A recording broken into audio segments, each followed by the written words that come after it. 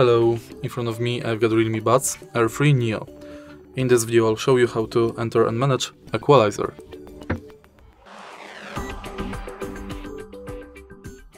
In the beginning, go to Realme Link app. In Sound Effects you can select Bass Boost, Balanced and Bright. And that's basically it. If you find this video helpful, please leave like, comment and subscribe.